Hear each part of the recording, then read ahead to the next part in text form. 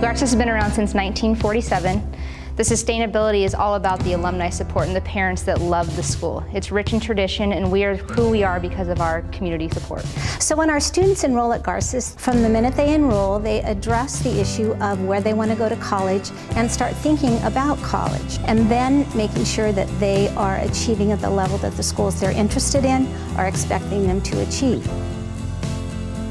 Garces has really enabled me to grow spiritually in my spiritual journey. Celebrate it once a week on Wednesdays as a family and we come together as a spiritual community and we all bring each other up in faith and we encourage each other to grow. Garces has always talked about family. Once you've gone to Garces, you're really entrenched in that family. The main thing that I see with our students is that when they come to Garces, we expect them to achieve and they rise to meet those expectations.